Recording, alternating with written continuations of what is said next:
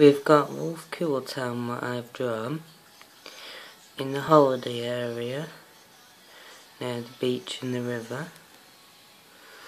We've got the Apple Apple Shop, Alpha's Hotel, the Whitaker's Rest, what's a hotel, Candy's Hotel, Cool Spa Hotel,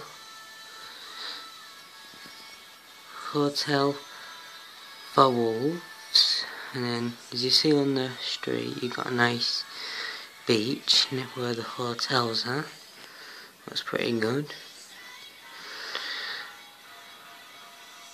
And there's some more shops in the background. I'll show you them on another on the next episodes. If you like it subscribe and put a like